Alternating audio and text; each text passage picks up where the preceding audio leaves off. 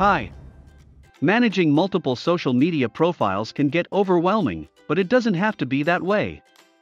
Now, with RADAAR, you can easily manage all your social media profiles from a single dashboard. For this, all you have to do is connect your social media profiles to RADAAR. After opening a user account in RADAAR and creating a workspace, you can start connecting your social media profiles.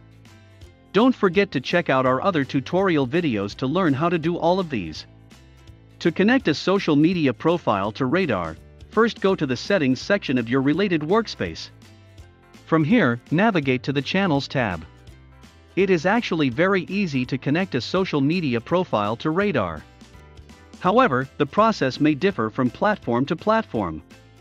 Basically, you should be logged into the platform with that social media profile or a user authorized to that profile. As RADAAR, we are the official developer of all platforms. Therefore, you can connect your profiles to RADAAR without entering the username or password of any of your profiles in RADAAR. In other words, you only authorize RADAAR to access your profiles. You can remove or cancel this authorization from the platforms at any time. If you are ready, click the Connect button to open the list of profiles that you can connect. Select the type of profile you want to connect. RADAAR will redirect you to the authorization screen of the related platform. Confirm all steps without making any changes to these screens. Once you have confirmed all the steps, you will return to RADAAR. When you return to RADAAR after authorization, additional options may appear depending on the type of profile you want to connect.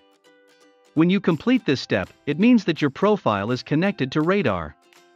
The features of RADAAR that you can use for the profiles you connect may differ from platform to platform, from profile type to profile type. You can easily follow this from the columns on the Profiles line.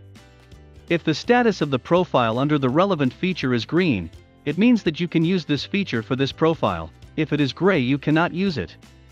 Unfortunately, this situation is entirely related to the technical possibilities and policies offered by the platforms. If for some reason a profile becomes disconnected from RADAAR, you will receive a warning email. If the profile is disconnected, you can easily reconnect your profile by clicking the Reconnect button of the related profile from this section. If you want to remove a connected social media profile from your work area, you can easily remove the profile with the Delete option from the Smart button.